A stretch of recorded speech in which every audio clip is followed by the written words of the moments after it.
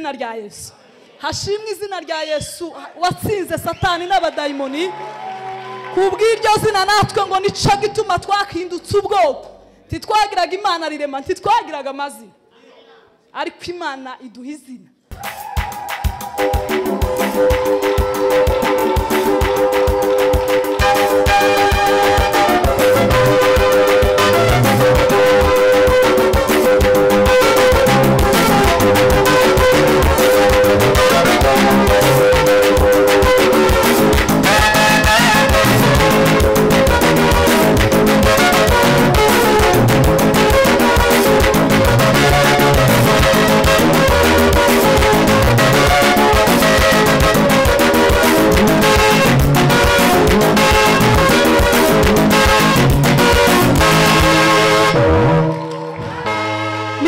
gatandatu ku murongo wa munani.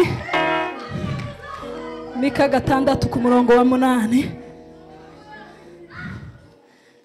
Aravuga ngo yewe mwana w'umuntu we yakweretse icizi icyo ari cyo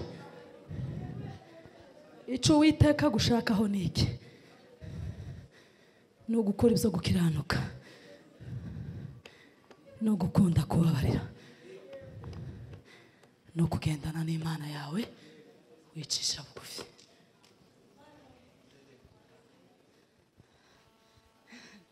hari umwe kuja gutanga teme ngo ni ukuzina gusa turavuga n'ijambo ntabwo turi emputi hari ibyo imana yadushizemo. Yewe mwana w'umuntu we.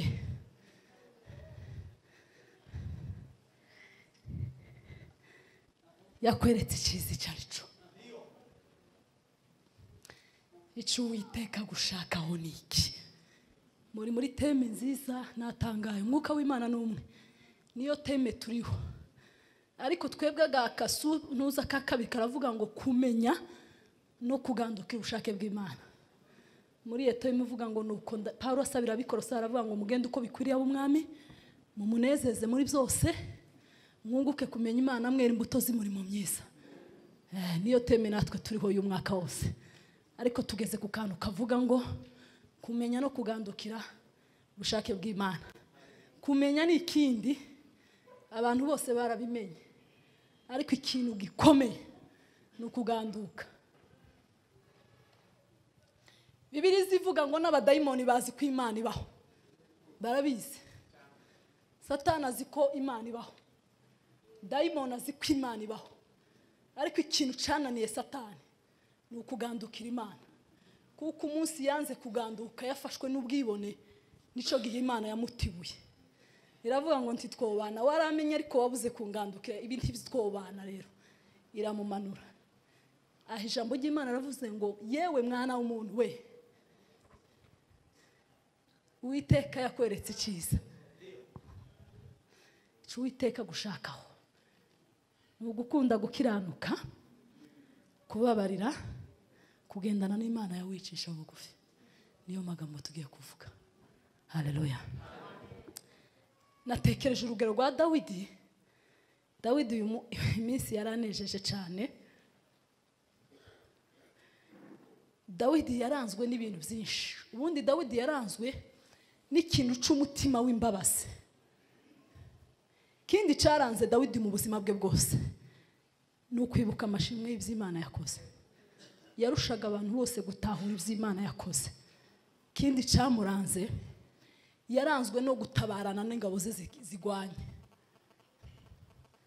hareruya aho urugamba ingabo ziteye bakajana. Ariko tugiye kureba uburyo dawidi yagiye arangwa no kubabarira n'ukuntu yigeze kongera asa nk'u- nk'ubiyobewe nk'utandukiye ku bushake bw'imana. Samweri wa kabiri?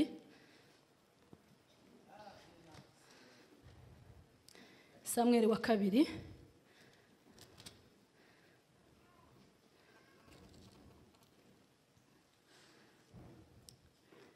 Ah, reka duhere muri samweri wa mbere kuko ariho mbanza kugira ngo irya kabiri rize kuzurana samweri wa mbere makumyabiri na kane. Ah, ku murongo wa mbere turagenda dusimbuka. Samweri wa mbere makumyabiri na kane aravuga ngo nuko dawidi arahava arazamuka atura mu bihome bya enigedi bukeye sawuri atabarutse avuye kwirukana abafilisitiya bamubwira ko dawidi ari mu butayu bwa nigedi sawuri ahera ko ajyana ingabo ibihumbi bitatu zitoranijwe mu bisiraheli bose bajya gushaka dawidi n'abagaragu be mu bitare by'i- by'inga- by'ingandagarizo ry'amasha. Dusome kuri gatanu. Maze abantu ba dawidi baramubwira bati uyu ni wo munsi uwiteka yakubwiraga ati nzakugabiza umwanzi wawe uzamugenza uko ushaka amen. Tugiye kuganira hejuru y'ijambo ryo kubabarira kuko ni cyo imana idushakaho. Turaza no kuganira irindi jambo rivuga gusaba imbabazi. Ahangaha ijambo ry'imana ryatubwiye. Sawuri yahize dawidi ibihe byinshi. Iyo usomye hejuru bajya bavuga ukuntu ngo yari ageze aho amaze kumutangatanga byarangiye agiye kumufata yari yaramuhunze ngo aramutangatanga ingabo ziramutangatanga. Yari agiye gusingira dawudi ngo hahita haza inkuru zibwira sawuri ngo abafilisitiya bagiye kugwa gituma igihugu bagifashe ngo bituma asubirayo. Ntiyabagifashe dawidi. Dawidi ngo aragenda arahunga ahungira mu bundi butayu. Ngo abugezemo n'ubu bavuze enigedi ngo abugezemo sawuri amaze ku- ku- ku- ku- kurwanira cya gihugu ciwe kandi ngo agaruka kuza gushaka dawidi. Bibiri ijambo ry'imana zari tubwira ngo araza yinjira nawe muri bwa buvumo. Ijambo ry'imana ryavuze kuko ndi kwihuta kugira ngo iminota neza ize kuyikoresha neza ngo ahita yinjira mu irembo ba dawidi barimo. Abariho mbese abariho atungana. Ngo ingabo za dawidi ngo zihita zibwira dawudi ziramubwira ngo dawu uyu ni wo wa munsi imana yakubwiye ngo izakugabiza umwanzi. None rero twitegure tumufanyire.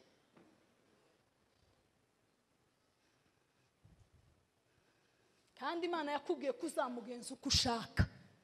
None rero wamubonye. Tekereza icyo rero turi bukore. Ariko dawidi ariko dawidi ni umuntu mwiza. Haleluya iyo usomye hepfo hazavuga ngo dawidi arahaguruka agesa ku kinyita cy'umwambaro wa sawuri bucece. Ngo hanyuma dawidi ngo agire umutima umuhana kuko yageshe kuri wa mwambaro wa sawuri abwira abantu bati uwiteka ndinde kugenza nk'umwami wanjye? Uwiteka yimikishije amavuta ngahangara kumuramburaho ukuboko kwanjye kandi ari uwiteka yimikishije amavuta. Uko niko dawidi yari uko niko dawidi yaburishije abantu be ayo magambo ntiyabakundira ko bahagurukira sawuri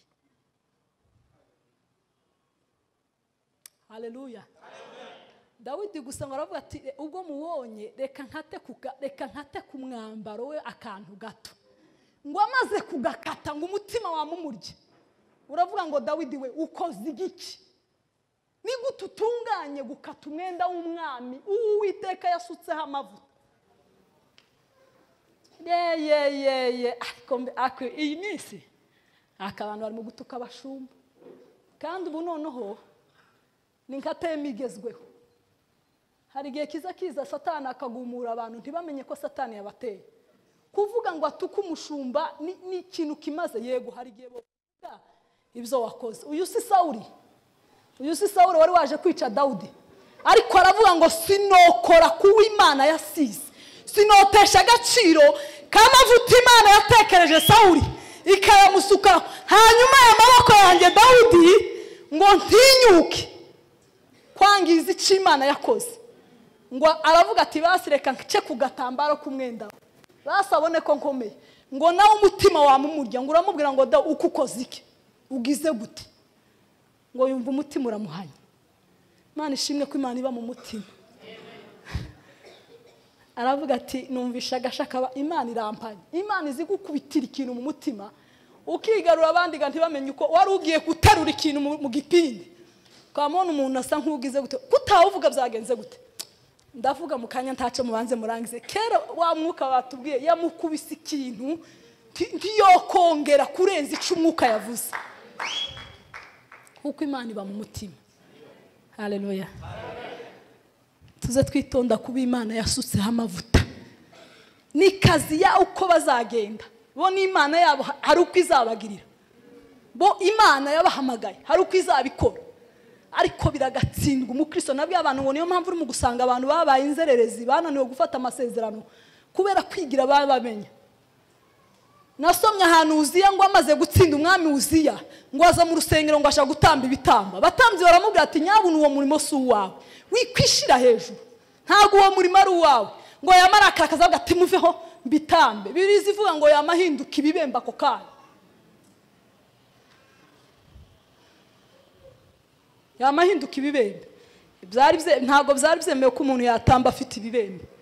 Nawe ngo ubwe ngo yama yibwiriza yamasohoka. Arinda apfana ibyo bibembe. Muramenye mwitondere ibyo mukora n'ibyo muvuga. Ndi mu kubona abantu bavuga ngo ngo nazane ngo nave mu nzira ngo tutamukandagira.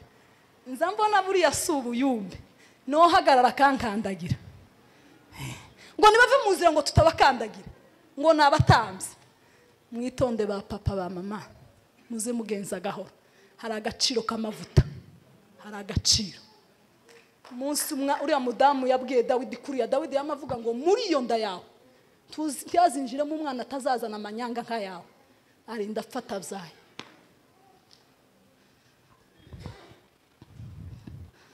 mani tubabarire. Mani twese. Uko niko ngo dawidi yaburije arababwira ngo mwabagaragu mwe muramenye. Ntimugire icyo mutwara sawuri n'uwimana yimikishije. Nubwo uyu munsi ari kumpiga. Nubwo uyu munsi yanyanze. Ariko hariho ikimenyetso cy'amavuta y'imana. Haleluya sawuri ngo arahaguruka ava mu buvumo aragenda. Hanyuma ngo dawidi arahaguruka ava mu buvumo ahamagara sawuri amubwira ati sawuri sawuri biti ariko kuki uza wumvira abantu bakubwira ko nkwanga? Kuki uza abantu bibiri izaba ivuga mu migani hazavuga ngo gutinya abantu ngo kuza kugusha mu mutego. Kuki uza wumvira abantu baza baza bakakongoza bakakubwira ngo ndakwanga? Si nkwanga. Kuko iyo nza kuba nkwanze. Uyu munsi. Uyu munsi uwiteka yari ya- yari yakun- yari yakunyegereje. Yari yakuntije. Nari kukwica. Haleluya witeka yari yagutanze mu maboko yanjye byari byarangiye. Murebe no ku mwenda hari akantu twaciyeho. Ikimenyetso kibereka ko twari twagufashe. Murebe ku mwenda. Ngo sawa uravuga ngo mwana wanjye dawidi we undushije gukiranuka. Icyo uwiteka gushakaho ni ugukiranuka.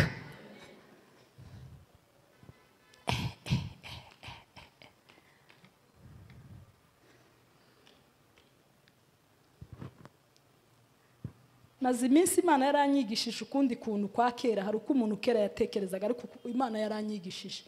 Kandi imana ishimwe ko yanyigishije kuko nta kumenya tugira ku- kuva muri yo. Natekereje kuri iri jambo tekereza imana yakubwiye hari umudamu wigeze kutubwira ukuntu yigeze ngo gufata umurozi. Nibo banzi twese tuza tuvuga mbese bishoboka. Ngo aramufata ngo abura icyo yamukorera.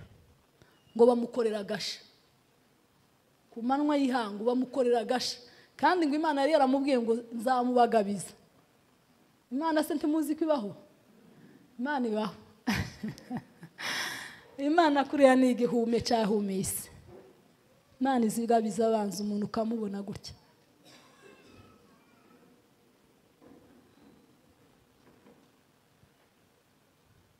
Benshi bari mu kubamenya akamenya nuko ari we uri wamugenda ari we wamuroga ntiyongere kumusuhuza.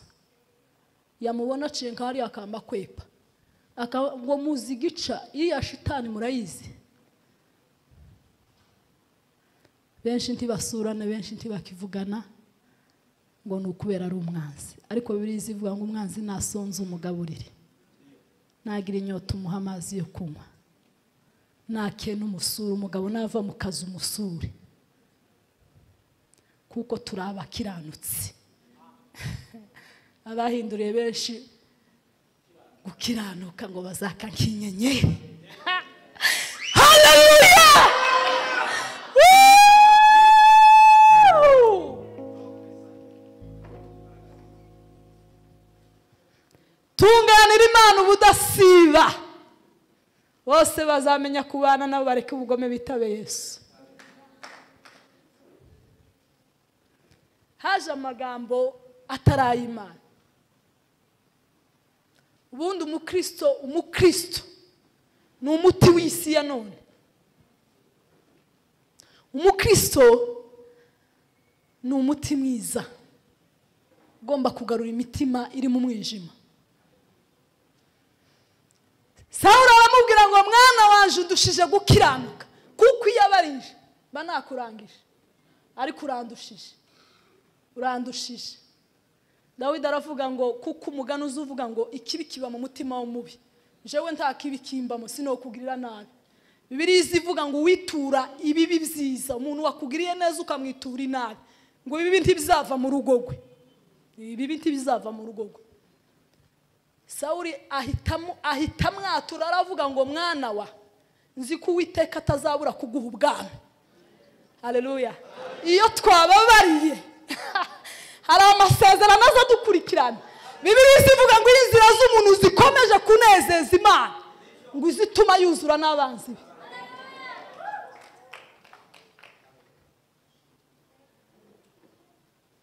Ndabizi ko aya magambo yagoye abantu. Ariko nzoyavuga kugeza ku gupfa. Banshingura kandi ko umunsi wa nyuma wo kurangiza utu tuvidewo twose tuzogaruka. Icyo nkundira imana ntago bizapfa. Ntago bizagenda gutyo. Aravuga ngo nzi ko uzoba umwana umva mwana wa numara kuba umwana mu bana banje mu rubyaro rwanje tuzabibagirwe dawidi utarishe yo kwibagirwa. Utarahoye yo kwibagirwa. Dawidi dawidi we uri umwana mwiza. Ijambo ry'imana ziravuga ngo amaze gukora ibyo ashaka arasinzira. Imana imuhe iruhuko ridashira. Bwana yesu asifiwe. Hareruya imana ibaha umugisha ko muzamutanga iminota myiza. Ko ndarunguruka ngasanga ni ikirundo. Ni sawa kabisa. Hareruya hareruya mubabarirane. Nibwo so mu ijoro azabababarira icyo umuntu akora ni cyo kizamugarukira ubugome buzakugarukira. Icyo umuntu azabiba tu! Imyaka itatu cyangwa ine kizakugarukira. Ariko umusaruro uva mu mbabazi. Ni ukugirirwa imbabazi nawe imana ishimwe. Imana ihimbazwa indi nyungu iva mu kubabarira kuko ndaza no kuvuga inyungu ziva mu gusaba imbabazi. Aho ni ukubabarira. Musomere mariko cumi na rimwe kuri makumyabiri na gatanu kugeza kuri makumyabiri na gatandatu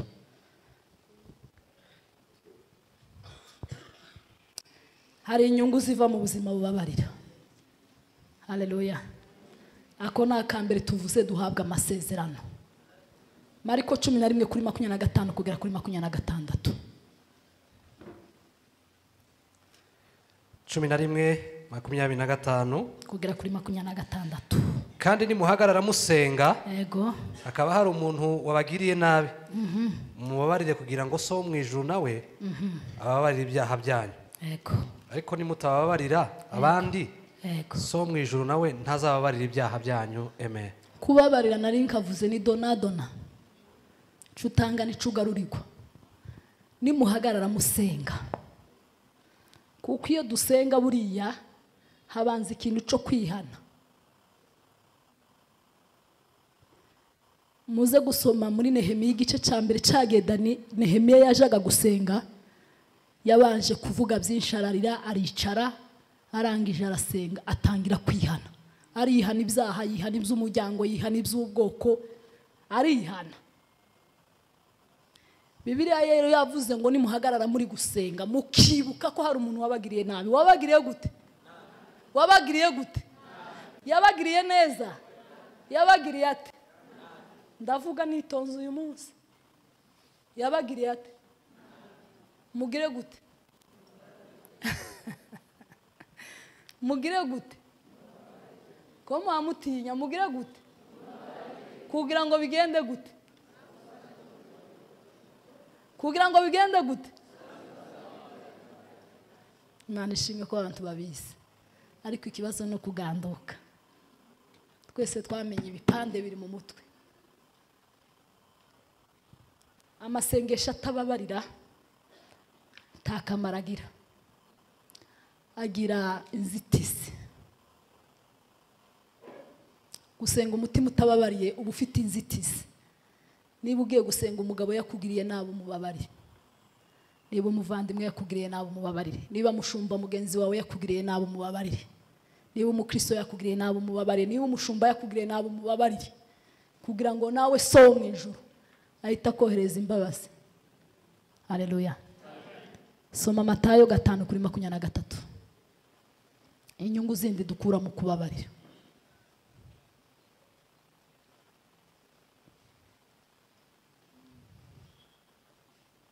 Gatanu makumyabiri na gatatu matayo. Gatanu makumyabiri na gatatu. Yego nuko nujyana ituro ryawe ku gicaniro ukahibukira mwene so ko afite icyo mupfa? Usiga ituro ryawe mbere y'igicaniro ubaze ugende wikiranure na mwene so uhere ko ugaruke uture ituro ryawe. Amen. Amen. Nabajije mwene data fasa jacques twari turi kumwe ahantu. Ndamubaza ja uzi ko amaturo menshi yahombye? Uzi ko abantu amaturo menshi yahombye?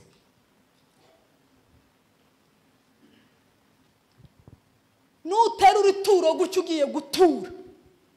Ukibuka ko hari umuntu wakubabaje. Wamumubabarira kugira ngo ituro ryiruke mu ijoro bishatse kuvuga ngo habe n'ubwo utemagura zahabu n'ibiki ugatemagura ibitambo by'inka. Ariko utababariye. Ntacyo mvuze sindi uwo guca imanza. Ariko ijambo ry'imana rirahari.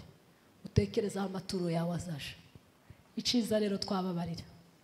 Kuko amafaranga umuntu azahomba wamugana mwene data yabajije arabaza ngo ese ubu umuntu azatura hari iki cyabaye? Nanjye nza mpumirwa ngatangara. Aho umuntu azazana ibihumbi magana ntawamuhagaze hejuru agatura. Biza bintangaza. Niho nza mbona ko imana ari igitangaza. Nta muntu wakubwiye kuza mu materaniro dore ukuntu abantu buzuye. Ibyo ni ibitangaza by'imana. Ariko nituzi imbere y'imana ugiye gutura. Kwibuka ko hari umuntu mufitanye akabazo. Ubanze mugakemure kugira ngo ituro ryawe rizamuke imbere y'imana ryemegwe. Amen. Samweri wa kabiri twavuga byinshi inyungu zigendana mu kubabarira ntitwazirangiza. Samweri wa kabiri cumi na rimwe.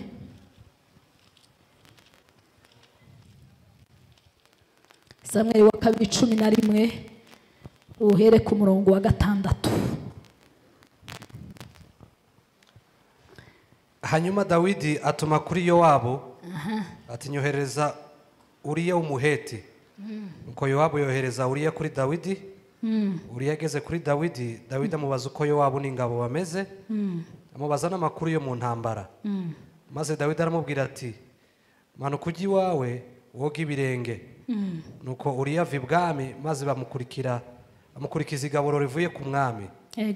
Ariko uriya yiraranira n'abagaragu ba shebuja bose baraririye ku muryango wa- kambere y'ibwami. Ntiyamanuka ngo ajye iwe. Babwiye dawidi ko uriya atagiye iwe dawidi niko kubaza uriya ati mbese ntuvuye ku rugendo? Niki cyakubujije kujya iwawe? Uriya asubiza dawidi ati isanduku y'imana n'abayisiraheli n'abayuda barara mu ngando. Kandi databuja yowabu n'abagaragu ba databuja bagerereje ku gasozi. Naho njye nigira iwanjye njye kurya no kunywa. Niryamanire n'umugore wanjye oya ndahiye ubugingo bwawe. Uko uramye sinakora bene ibyo. Dawidi abwira uriya ati sibira hano uyu munsi ejo nzabone kugusezerera ego. Nuko uriya asezera asibira i yerusalemu uwo munsi na bukeye dawidi aramuhamagara ararya aranywa amuri imbere aramusindisha maze nijoro arasohoka ajya kwiryamira ku buriri bwe hamwe n'abagororwa ba shebuja. Ntiyarushya atarabukiriwe rekeraho. Uyu ni dawidi. Bibiriya iza ivuga ngo abandi baratabaye yohereza yowabu ku rugamba iwe ngo asigaraho. Yagiraga ikintu cyo kujana n'ingabo ze. Ariko uwo munsi sinzi ukuntu shitani yamuteye arasigara. Abandi bari mu kuja ku rugamba nzi ko hano mufite vente hejuru sibyo? Uko hari abantu batazi amakuru yayo.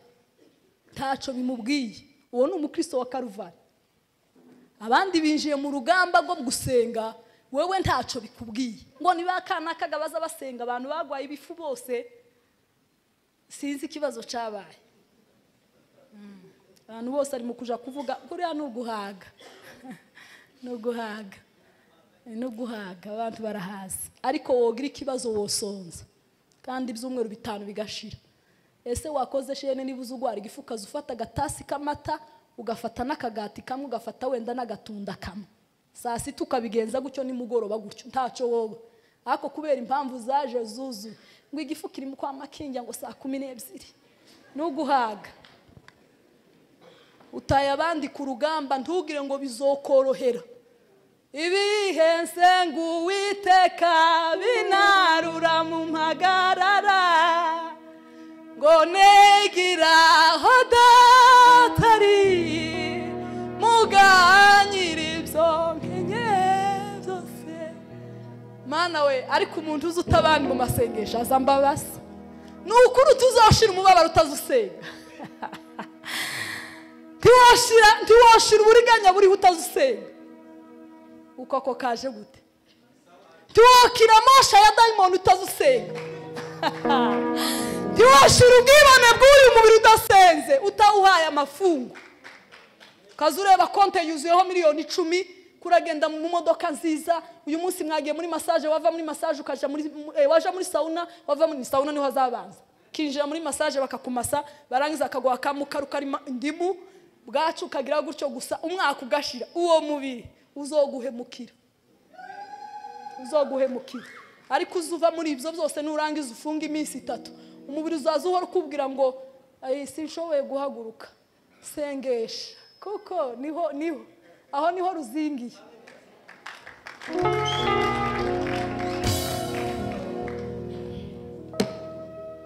Nta mugore woreka gutongana ngo akore divorce keretse uwabaye mu bihe byo gusenga.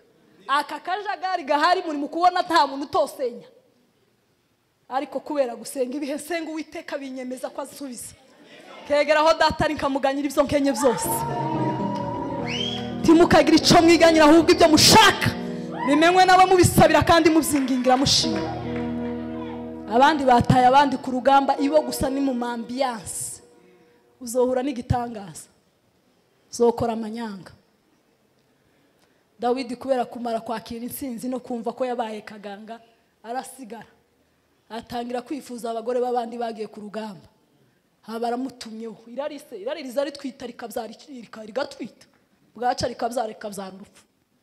Ugapfa amutumye ngo amaze kumutuma aramubwira ati mumunzanire namubonye namurebye. Surire yembwe bikiye ngo ni mwiza. Mumunzanire ngo arangije bakora ibyo bakoze by'ibyaha ngo umugore asubira ngo arangiza amutuma ati wa munsiga ni amasama ni amasama ni amantwita zahuriranye ari mu gihe cyo gusama. Ngo dawidi yamatangira gutekereza umutwe. Abapagani bagira imitwe. Uko mubona abapagani bagira imitwe. Nibo ba mbere. Bagira imitwe.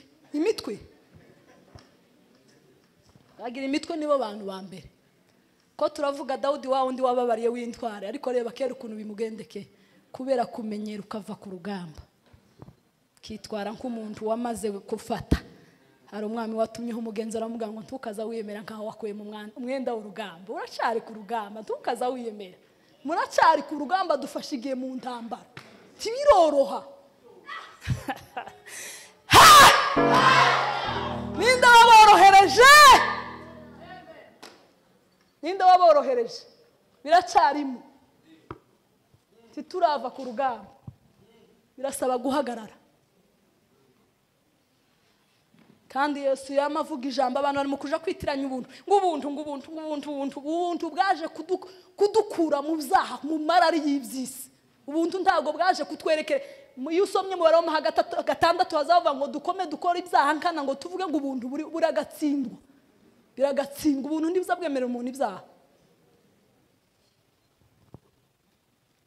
Dawidi ngo yamahimba umutwe yamavuga ati yowabu we nyohereza uriya yandika urwandiko. Uzamunyohereze ndamukeneye. Yamamubwira ngo uriya nifuje kuja kuruhuka. Imitwe. Ariko umuntu yokura undi muntu mu rugamba ngo aze kuruhuka. Ariko uriya nawe yari igihumbi. Uriya? Ako uriya yari umugabo. Ariko ni umugabo utandukanye n'abantu benshi.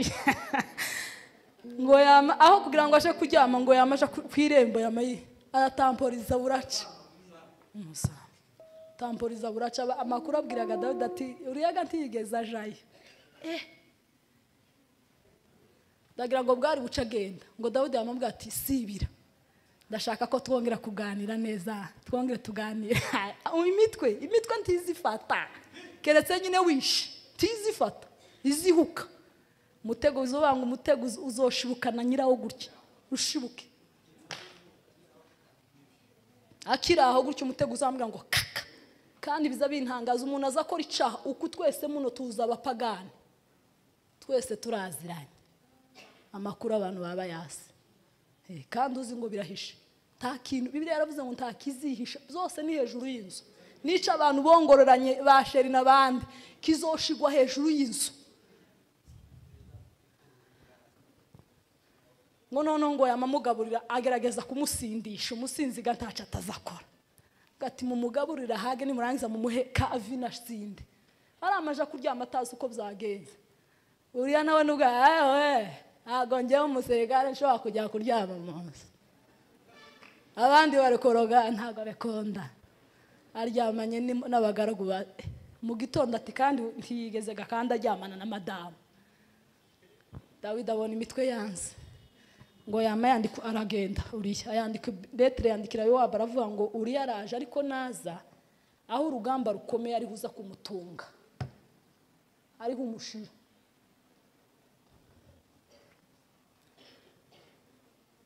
Muri ibyo yaravuze ngo nje ni umukristo ico ni ikintu gihumuriza umutima waje kikanibagiza ibyago byose. Naho naba no ku rugamba nkagwayo mfite umugaba ni umwami yesu. Nituba hamwe nzahuranisha.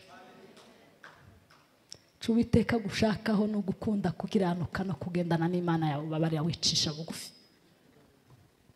Ngo arangije kwica se arapfa.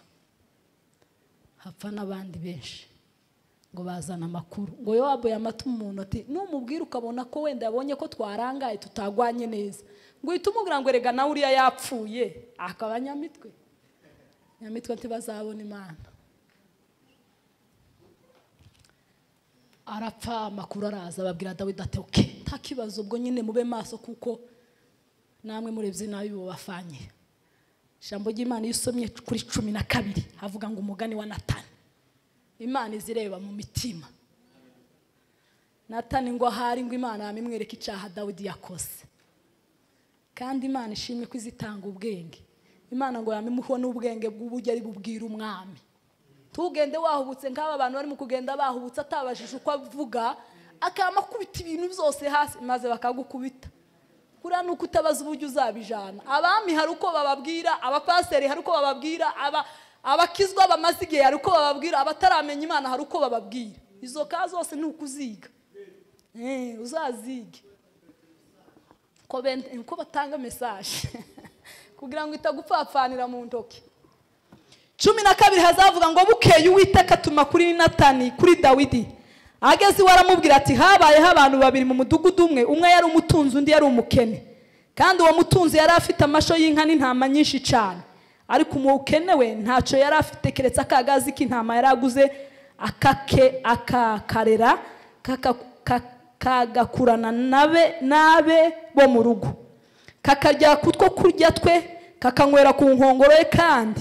Karyamaga mu gituza cye kabaga nk'umukobwa we. Bukeye haza umu- umugenzi kwa wa mutunzi umubi nuwenda mu nka ze cyangwa mu ntama ze ngo azimanire uwo mushitsi wamugendere.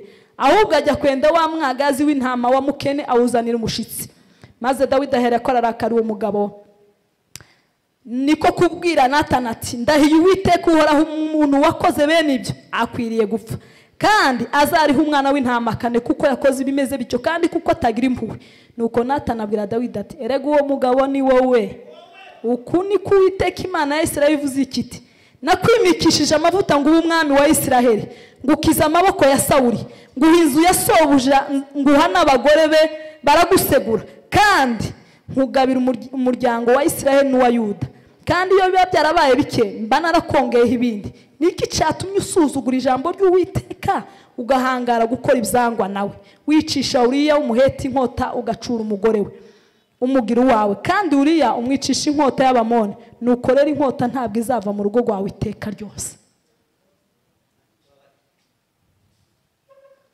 Amaso y'imana azareba. Nubwo waba umaze imyaka cumi n'itanu imana izireba. Imana izibona. Kuko uriya yamaze gupfa ahita acura umugore we. Imana musarire ntiyamwihorera ati uriya yapfuye ga byarange reka mbireke. Yamimubwira ngo "Eh, dore uko byagenze amakuru mwayumvishije. Umuntu yari afite agatama kamwe ari umukene undi afite amasho y'ibiki n'ibiki. Wa mutunzi ngo agire umushitsi aja gufata ka gatama ka wa mukene. Uwo muntu ikintu yakoze. Umwami ngo yamavuga avuga ati uwo muntu ikintu yakoze akwiye kwicwa. Kandi ako gatama ako gatama azakarihe kane. Natana aramubwira ati uwo muntu ga mwami ni wowe. Ni wowe wakoze ibyo. Ariko dawidi ndamukunda.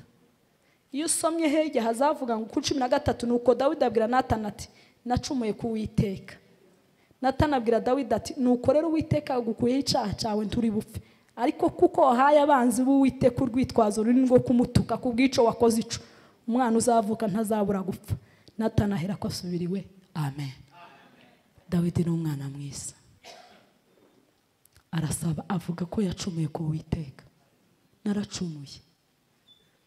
Haleluya aracogesha amaraso. Genda umwikubita imbere vuga yuko zaburi mirongo itanu na rimwe aho yasabye imbabazi cyane hagaragara Ah, ingaruka z'icaha nizo ngiye kuvugaho hanyuma tuze kuvuga ko hakiri imwe. Yesu kirisito ari we mpongano y'ibyaha zacu. Imana ishimwe ko itadutaye mu nzira. Yaduhaye yesu. Tuba twarapfuye twarashize. Ariko hari inkuru nziza yesu arahari nubwo zogenda gute? Mirongo itanu na rimwe haravuga ngo mana umbabarire kubw'imbabazi zawe kubw'imbabazi zawe nyinshi. Usibanganye ibicumuro byanjye. Unyuhagire rwose gukiranirwa kwanjye unyeze unkureho ibyaha byanjye. Kuko nzi ibicumuro byanjye ibyaha byanjye biri imbere yanjye iteka. Ni wowe ubwawe nacumuyeho nacoze cyangwa n'amaso yawe. Byambere bityo kugira ngo uboneke ukiranuka n'uvuga kandi uboneke kuboneka n'uca urubanza. Dore naremanywe gukiranirwa mu byaha ni mu mama yambyariye. Amen. Dawidi yari azi gusaba imbabazi. Natekereje ingaruka hano z'icyaha.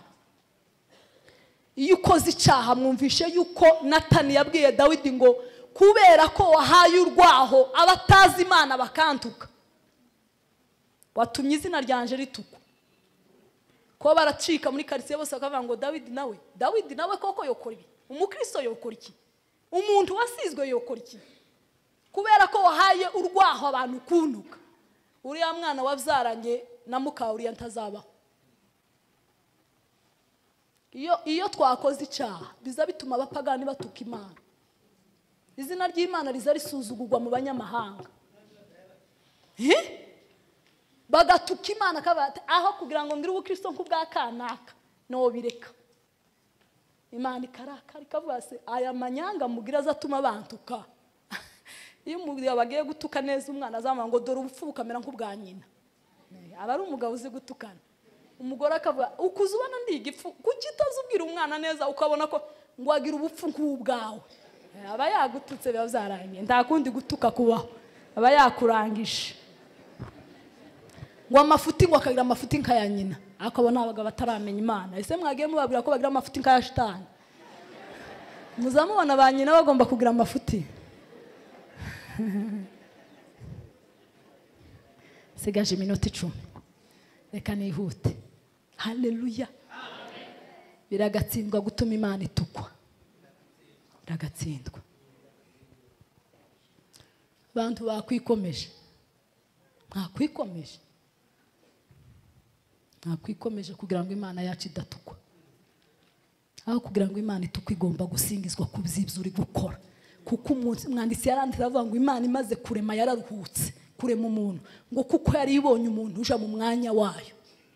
Turi abakozi b'imana turi abantu bahagarariye ubwami bw'imana.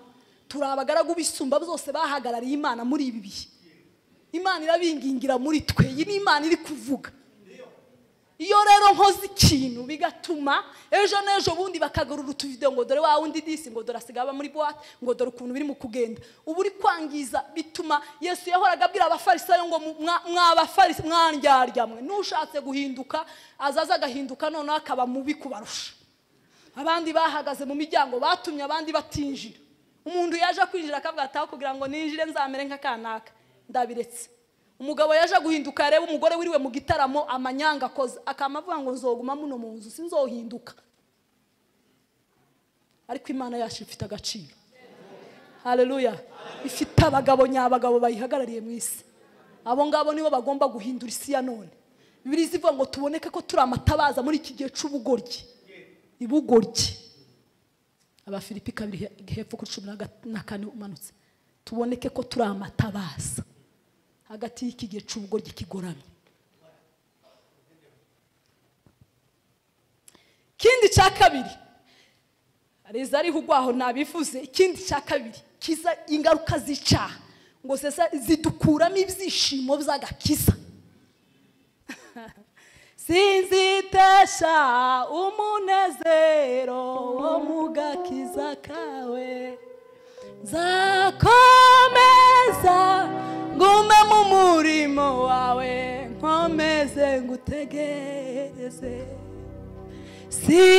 sinzitesha umunezero wo mu gakiza kawe. Cumi na kabiri manu ndema mu mutima wera unsubize mu mutima ukomeye ntunke kure y'amaso yawe ntunkure mu mwuka wawe unsubize mu kunezezwa n'agakiza kawe. Ibyishimo by'agakiza ngo noneho ngo nsigaje amateraniro ngo bagakubita ngo pi. Pi! Mishe wankubitiyemo umunota papa.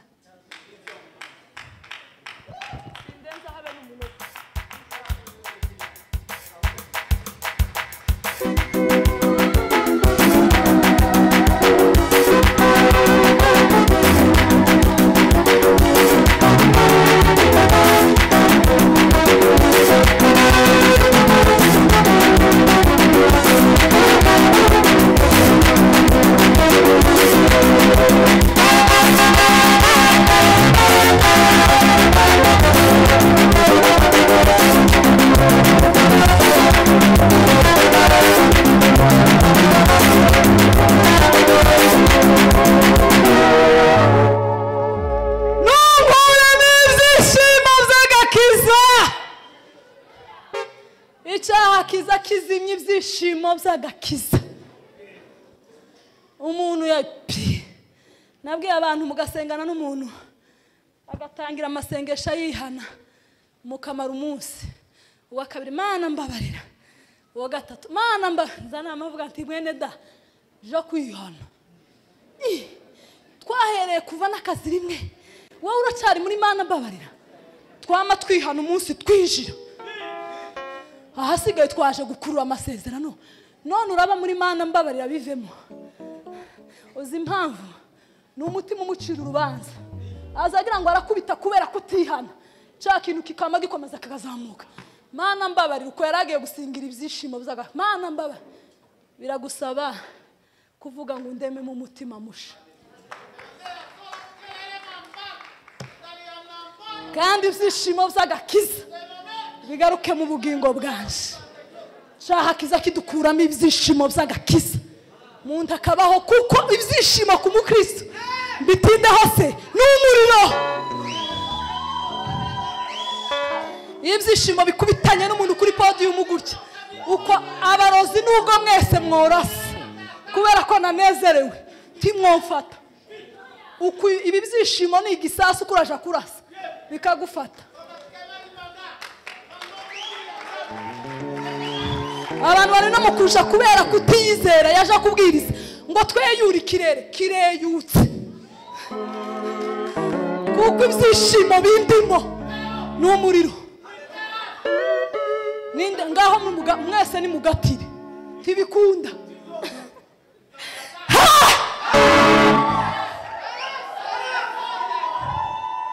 Ntibikunda ntiwongatira ntibikunda. Ntibikunda ngaho rasa turebe. No kwambamo ishamburiya byose nkagira ngo jogonya ntibikunda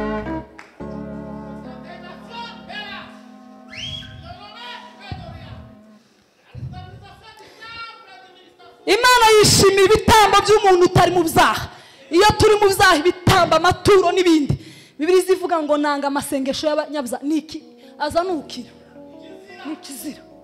Ni umunuko sinza nyumva iyo uri gusenga wejejwe. Ayo. Akuzukurura. Ariko turakurura. Uyu mugoroba vuga ngo datungirire neza. Hey. amasengesho y'abera ni umuriro ni imibavu ihumura neza. Ni imibavu. Muzamushyira mu tubindi igihe imana yabona ikavuga ngo mu majyaruguru bimeze nabi reka mfate aya masengesho uyu mugoroba yasengewe karuvari nyakoresha iby'umumaro. Amasengesho y'abera ni mazima ariko amasengesho y'abapagani ni ikizira. Ntaho yogera. Ariko mbasubizemo umutima yohana wa mbere kabiri. Bana banjye bato mbandikiye ibyo kugira ngo mudakora icyaha. Icyakora nihagira umuntu ukora icyaha. Dufite umurengezi kuri data wa twese. Ari we yesu kirisito ukiranuka. Uwo ni we mpongano y'ibyaha byacu. Nyamara si ibyaha byacu gusa ahubwo n'iby'abari mu isi bose. Bana banjye bato mwe ndabandikiye. Ngo ndimukore icyaha ariko nidukora icyaha dufite yesu. Uwo ni we ni we. Satani yanibukije. Gukiranirwa kwanjye ashaka kunyiheresha byanumbira mu ijuru ndenga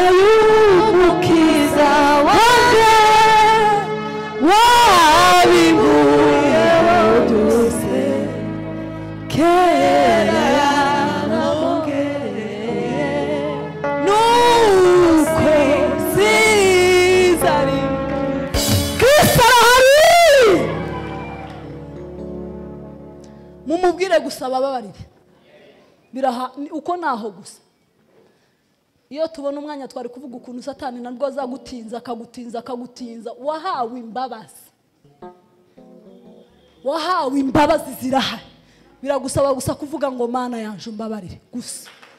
Wature ko uri umunyabyaha wature ko byabaye nabi. Nurangiza wama winjira mu gitaramo umuriro wake. Ariko kuraho urwaha abadayimoni baje kugira bate barakurashe barakumaze wabaye ibishwe mbese wabaye deshe ngo umutwe kurangira ngo akanwa ngo umuhi.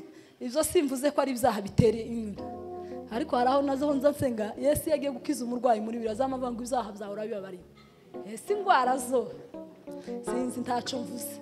Ariko naho sinzi iyo zaziva simpasi ariko nza ntangazwa n'ukuntu yageze aje gukiza ibirema. Ngo n'ibyaha byawe ngo urabibabariwe okay. Nshatse kuvuga ngo ibyaha n'indwara.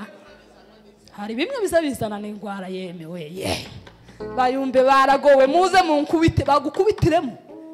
Wa- waranduye kubera ibyaha. No bagukubitiremo iki? Ihangane urwane n'ingaruka z'umubiri. Ariko icyaha carababariwe. Twarababariwe. Igorigota haracyariho twihane. Imana yo mu ijuru ibaha umugisha. Dutunge kirisito nk'umwami n'umukiza. Tugendere mu buzima bw'ibyo imana ishaka ni ugukunda kubabarira kugendana n'imana yacu twicisha bugufi imana igakorera muri twe. Imana ibagirire neza mwarakoze bayobozi kuduhamagara data akomeza bishimire. Imana ibaha